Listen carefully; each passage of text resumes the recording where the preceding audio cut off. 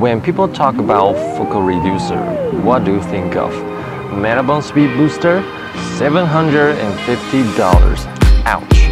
What about Kipon? Terrible glass quality.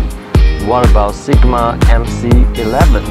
Right, with limited features unless you use their art lenses. What if I tell you you could get similar features to the Metabone Speed Booster 600 bucks? Yes, it is Boat Trucks and they are catching up with the game.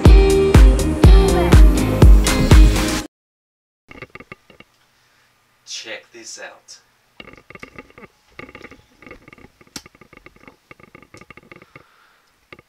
The version 1.8 August 10th. The improvement of the video autofocus. Wow.